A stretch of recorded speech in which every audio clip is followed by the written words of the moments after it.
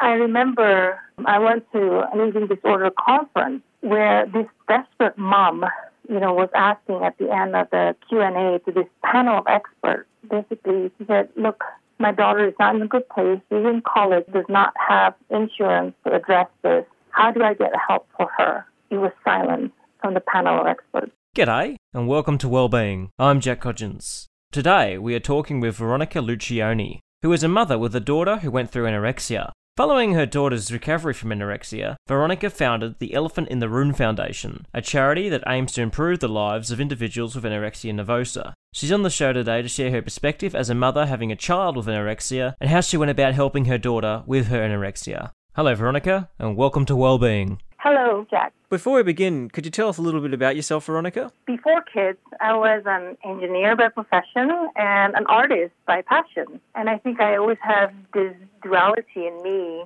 So I work professionally as an engineer, as an expert witness in geotechnical engineering, and I also um, did a lot of commission projects in photography and eventually even publish a book in photography. So I am now a happy mother of two adult children. Uh, my daughter is about to graduate this June, in fact, from Stanford University, and my son will be graduating next year from UCLA. So I couldn't be happier. um, having said that, I'm a happy mother now, but that wasn't always the case, um, especially not during the time when my daughter suffered from anorexia. So, in a nutshell, I think that um, that's who I am. When did you first start to notice that anorexia was becoming a bit of a problem for your daughter? Oh, geez, that's really hard to pinpoint um, because a lot of the things that she did actually blends in really, really well with a typical teenage behavior. And actually, it's a lot of things that we do ourselves at times. Um, I think the first time I started noticing was her making excuses to skip meals. She was in a swim team before, and after swim practice, she was she would run up to her room and say, Oh, I'm too tired to eat, mom. And she just went to sleep. I didn't think of it much. Sometimes, yes, you're too tired to eat, and that's okay to go to sleep. Um, the next morning, she would get up and she would be in a hurry to go to school and forget to eat breakfast. Um, you know, it's just that little things. Um, but at the same time, I noticed that she took up an interest in food. She started collecting recipe books She was obsessed about uh, baking, learning how to bake, and you know, for weeks, basically, the whole family enjoyed this amazing baking in the family, and she was always serving the rest of us all her food. I mean, during mealtime, she's always the one who's setting up the table, who serves everybody's food. She especially, um, I remember pounding in so much food into her brother's plate and making sure that he ate all of it.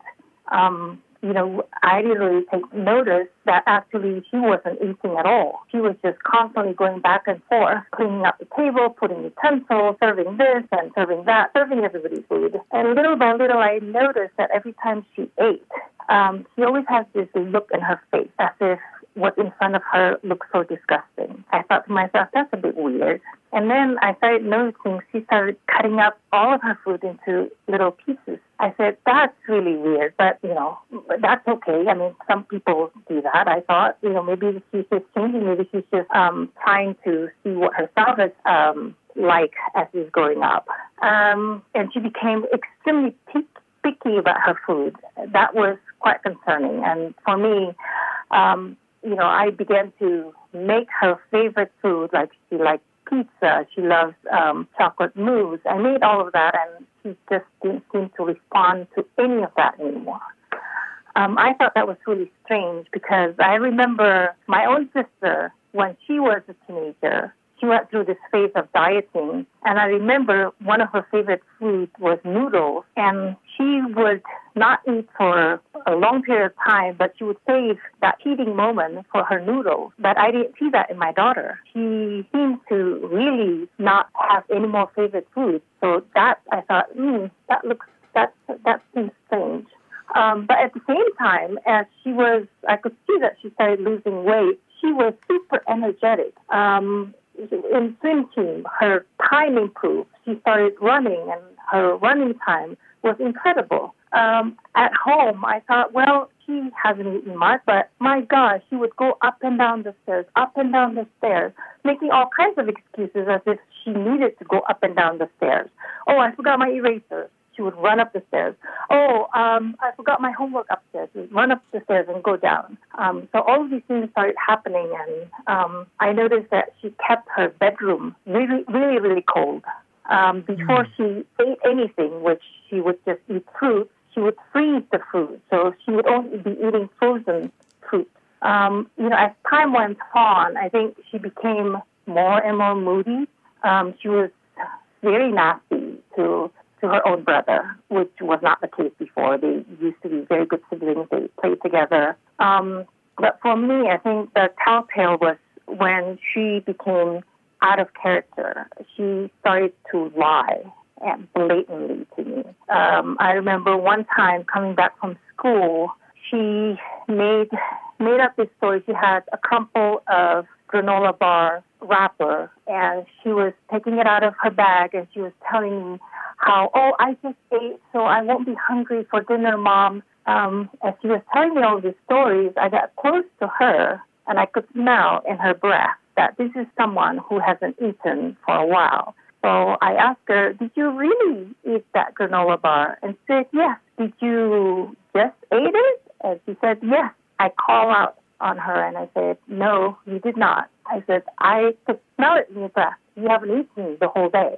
Of course, she got really, really mad. She started screaming, yelling. And I think that was actually the very, very first time she realized it herself too that there's something not right because she's one of those very honorable person before. She never lied. She always hated it when somebody lied to her. And all of a sudden now she just got caught lying blatantly. A lot of other bizarre things as her body changed um, and she became skinnier.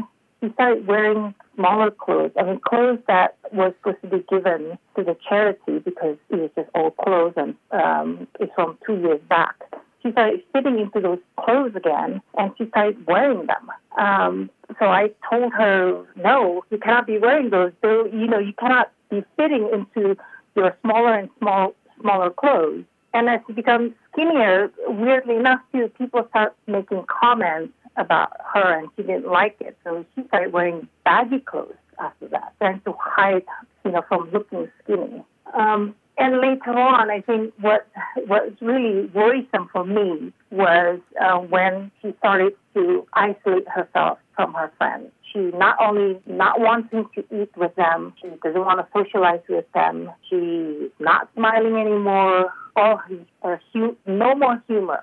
Um, she used to be a very happy person, and all of a sudden she changed and she becomes this grim lethargic um, person that still is going up and down the stairs and doing all of these sports. Uh, so that was, I think, um, all in all, put together, you know, as a mother, at, at, at that time I was a stay home mother, so I was with her and I was able to observe all of that. So at that time, I began to um, do something about it. Do you have any idea what might have brought it on? Um, well, I think it was through her understanding. I never actually pressed on it at the time. Uh, to her understanding later on, you know, she said, well, you know, I actually, I don't know, I didn't mean to, you know, prompt all of these almost like reactions to her own body, but I just felt like, hey, I'm, I'm growing up, you know, I'm, I'm bigger than most of the kids and I want to just be healthier. So I, I do exercise and I watch what I, what I ate and that's all. Um, so for her, that that you know the, lose, the losing initial weight, she came up with that story. Um, even though I could see it as when she lost weight, uh, it was the reaction from losing weight afterward. Afterwards was truly is beyond her. Um, so that was, was so bewildering to me, and that was to me was different to just a regular dieting. There's something there. You're listening to Wellbeing a nationally distributed radio show and podcast. My guest today is Veronica Luccioni, where we are talking about her journey in being the mother of someone with anorexia. When do you think the anorexia became severe and dangerous?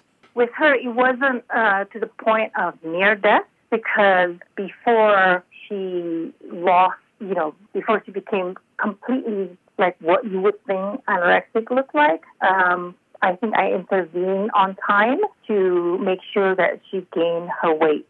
And I think that was that was the hardest thing um, for me to do because I don't think there is the common knowledge out there to to alert you to intervene early. I remember specifically even the doctor themselves, you know, kind of played this game. Oh well, all of her tests came out normal, so um, why don't we wait and see? You know, she's a teen, she's about to become a teenager. She was 11 at the time. Um, we'll wait and see, and maybe she'll be okay. I mean, I had to put the doctor aside and actually insisted on her advising my daughter to make sure that she would want to gain weight. And the reason I did that was because um, I did my research on anorexia. I read all kinds of stories. I read all the scientific papers, and I was trying just to put the two and two together in terms of what the body of science knows and what's happening with my daughter at home. And um, what I realized was there seems to be a mechanism that's not fully known by people that um, you know scientists uh, already found out about. So there is fundamentally anorexia is um, biological, the progression of it, mm. and um, and I think having that knowledge really helps me in terms of doing doing what needs to get done, which is for her, she needs to gain weight. You know, some people are just born with this genetic predisposition to anorexia, and mm. once it's triggered with weight loss, the only way to stop that mechanism and the only way to stop your body from starving is the weight gain itself.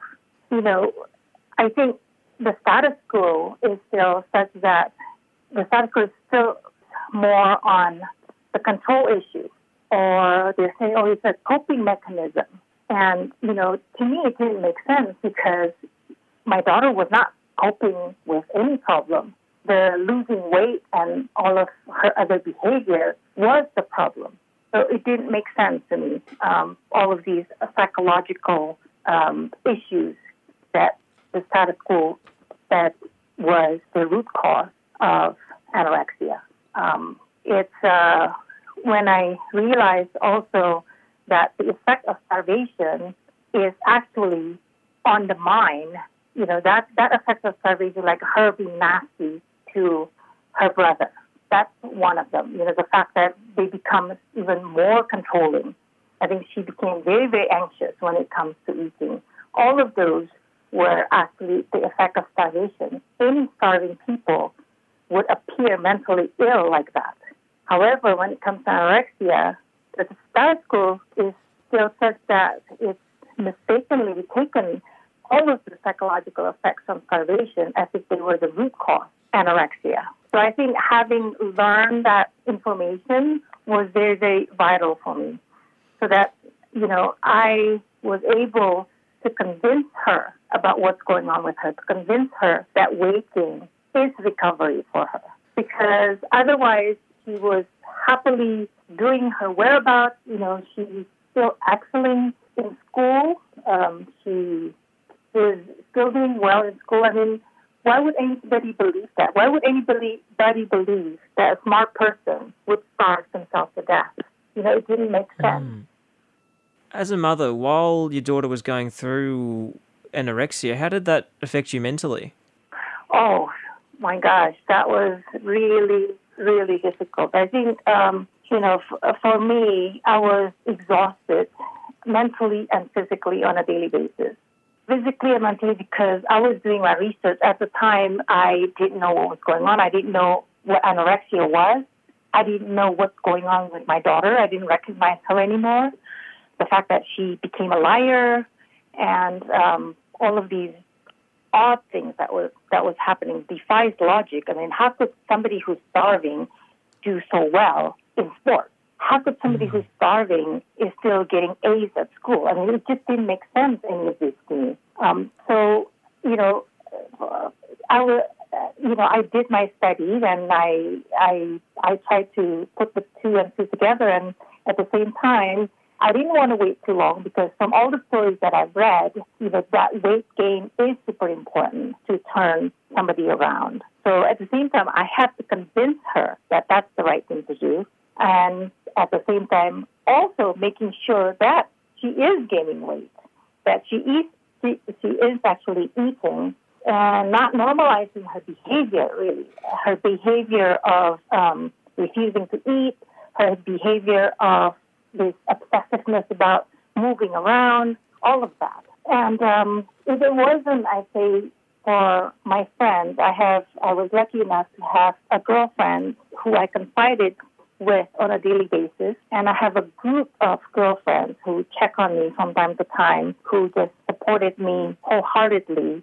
I don't think I would be, I could have done what I did to help my daughter. Um, so yeah, it was, it was, it was very, very difficult for me.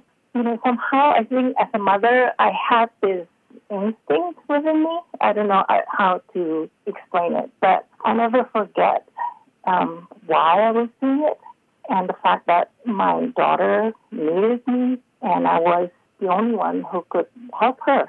I mean, it was really like fighting a war by yourself, you know, for your daughter.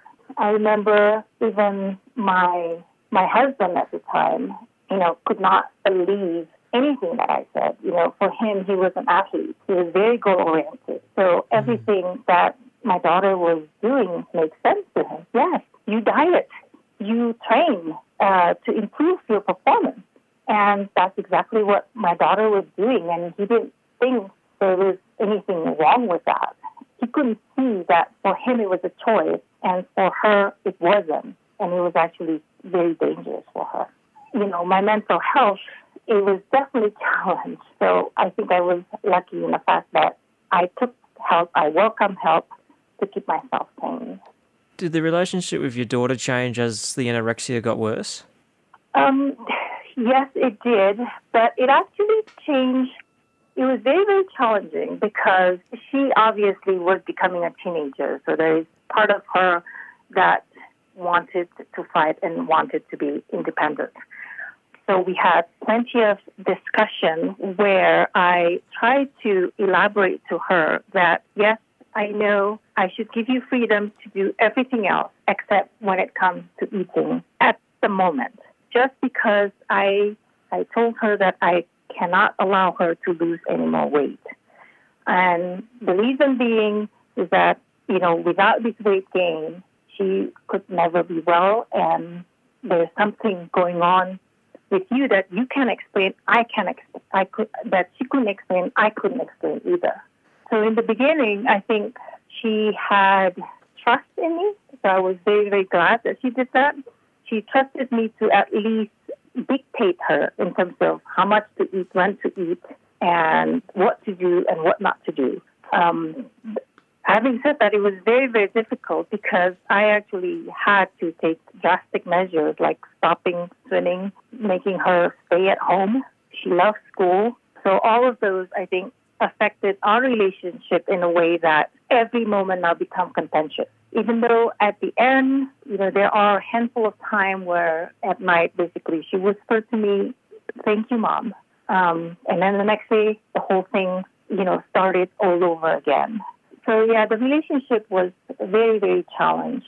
And I think, you know, I, again, you know, I got lucky because she, she did understand that we are working together. I mean, she did mm-hmm. understand because I shared with her all of the knowledge that I knew and the reason why we were doing things. For example, you know, we watched a documentary on recovery at the treatment center it was very, very disturbing. Basically, all of these otherwise amazing girls, that was a documentary of four girls, these four girls who were highly functioning, they strip away all of their freedom for the purpose for them gaining weight without actually even explaining to them why they needed to gain weight. So for my daughter, I explained to her, okay, that weight gain is super important, and now it's up to you. Do you want to do it at the treatment center, or would you like to do it with me at home. And so we agreed on doing it at home. And, you know, she explained to me, okay, I don't want you to be adding cream, to be adding fat when I'm not looking. You know, I want you to be honest. So I said, okay, fine. I'll be honest with you in terms of what I put into your plate because that was one of the strategies in the treatment center or what other parents would do. They would actually put in extra fat into, you know, the daughter's soup mm. so that they could gain weight. So that's something that we agreed on. We, we, we agreed on the transparencies. You're listening to Wellbeing, a nationally distributed radio show and podcast. My guest today is Veronica Luccioni, where we are talking about her journey in being the mother of someone with anorexia. Before your daughter kind of un- undertook that recovery, did did you find that she kind of retracted from like hanging out with friends or like doing fun things with people?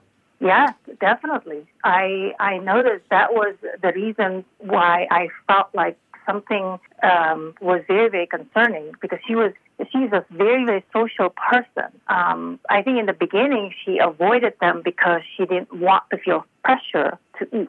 Um, but towards the end, I just believe that it's just your body starving. When your body is starving, people isolate themselves. Just, they just don't have the energy to, um, you know, to be kind to people, to be kind to yourself. So that was really disheartening for me to to see that in her. But that also was one of the things that really prompted me into starting to do something more drastic, like stopping school and um, eventually as a as a family you know, I don't even have anybody over for dinner anymore. We stopped vacationing just because all of the circumstance basically leads me to not being able to help her to eat properly and to make sure that she didn't lose any more weight. How long did the recovery last? From the time that I noticed she starts going downhill, I mean, it took, it was quite fast. I mean, she um, she lost about 25% of her weight within, I want to say, four to six months. Mm. And after that, took probably another year before she is at uh, at a good level. Um, and it took another year so um, before I think her kind of mood, her behavior, everything started changing, and she was in a good place. But even then, I have to say that it took probably another two years before she truly understands it's kind of like this mechanism that's very specific to people who are born with this genetic predisposition, which is basically this weight loss that triggers this adaptive mechanism. Um, with her, she didn't do it on purpose at times, even when she was well. For example, during finals, um, she didn't mean to skip meals, but I think her stress level or the fact that maybe she was growing at the time actually she has a deficit. She lost weight during that time. And once that happened, basically she snapped into this the same thing again. She didn't want to eat and she ran up and down up and down the stairs even more so and she started lying to herself again, like the whole process started again and I think it took several times before she actually understood, oh, when that happens, I better stop and I actually should sit down or ask mom to tell me how much to eat. So that, you know, that whole process, I think, took another at least two more years, even when she was already in a good place, to truly understand, you know, that whole mechanism of weight loss, which most of her friends were able to do, you know, figure something else different for her. And I mm. tried to explain that to her too. Look, you know, there is something uh, that you're born with, this genetic predisposition, because nine out of ten girls your age, they go on a diet. But this only happens to you. So there's something more fundamental to just dieting and to just live in this Western society where dieting is so accepted and it's an accolade. How much support is there for family members of people that do have anorexia? Oh, geez. Oh, I, it's nothing on the early intervention. And the early intervention, what I mean is that the stage before anorexia is medically diagnosed, but all the behavior and all the weight loss already started to take place. So, you know, this is the reason, too, why I started the Elephant in the Room Foundation, is to help people at this stage, where it actually makes the biggest difference. My daughter is able to thrive again in life without any permanent damage. And she is now living her full life, which is fantastic. Um, but in terms of support for the family member, siblings and siblings suffer. Um, my son did not get any attention anymore. Um, everything was in support of my daughter, and he and he also got the bad part from my daughter because my daughter, if she's not in good mood, she would be attacking him. Um, but he understood that. I tried to I tried to um, to help him understand that you know this is a tough period for your sister, and this is our turn to help her. And I think at the time he was only nine years old, and at night when we say goodnight, he he used to always tell me, "Oh, mom, don't worry about me. Go go go upstairs. Go upstairs and go go help. You know, go help my daughter." So he under, he understood that he was helping, and um, I thank him profusely and all the time to make sure that he understood that he was appreciated. And, you know, in his own little way, I think he tried to help his sister. He adored his sister. So at the time, um, he just finished watching Invictus, which is a movie about Nelson Mandela. He tried to tell her, he said, um, You are a captain of your own soul and master of your own fate. So um, you can do this. but of course, my daughter did not take it well. As you know, like I said, she no longer has humor, and she just wanting to be mean to him because she, she didn't feel well. You know, I think in his own way, he, he, he did try to help. And, you know, in terms of support from extended family, that's a really difficult one. Even though they're very well intended, they don't really know what's going on. And I think because there's not that clarity in terms of what anorexia is about, they repeat what society understood anorexia is about. Um, I remember my father-in-law told me, and actually, which kind of upset me, he actually also told my daughter, hey, you know, um, you were a big girl before, and then now you lost this weight. You look good. You look good now, but don't lose any more weight. Uh, well, actually, you could gain a little bit more weight. That would make you look perfect. So there's this focus on appearance and not encouraging her to um, to do what's best for her, which was mm-hmm. gaining more weight so that she could address this anorexia, wasn't there. So it was not helpful.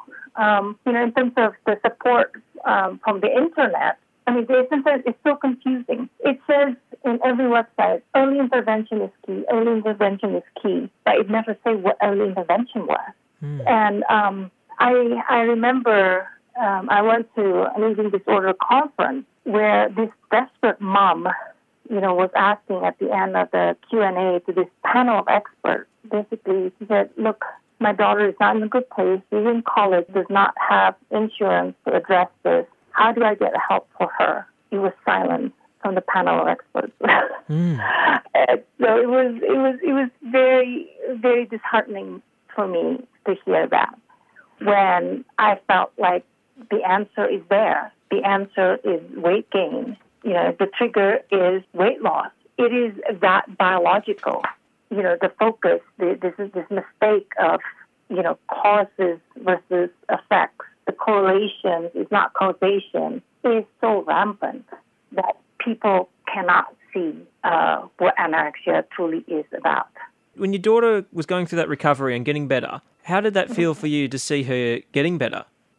Oh, it was um, it was very very gradual very, very gradual, and it took a long time. And I don't think there was ever a time where you just say, "Oh, yay!" Now hindsight, yes, but that's been so long. But during the process of it all, I don't think it was um, it was that obvious when you're actually there. Um, it, it, it was, you know, every step of the way you want to support her. So the minute that she gains a little bit more weight and she feels better, um, you want to make sure that she doesn't stay at that stage because you know that she's not in a good place yet. Uh, I tried to explain to her that, you know, biologically, after you starve yourself for that long, um, there's the secondary hunger hormone, there's ghrelin, that's still circulating in your body. So you may feel like okay, if I don't stop eating, I'm going to eat all the time, which was her worry. Basically, she when she started eating, I noticed that she was hungry, that she actually stopped herself. So I, I tried to explain to her,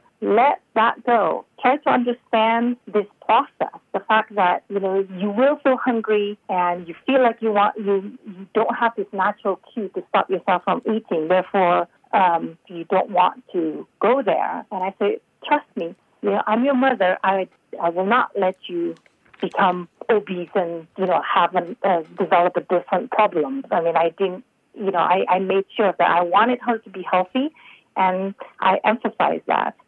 Um, so I think having her understand, understand what was going on and the science behind it was super helpful. Now the um, the paper that was written that under uh, that underlies all the biological components and ge- the genetic components behind anorexia is a scientific paper. It was not easy. It was not an easy read. Um, but thankfully, um, she's a scientific person and she's very academic, so she understood, you know, all the different components. She understood what was going on biologically and genetically.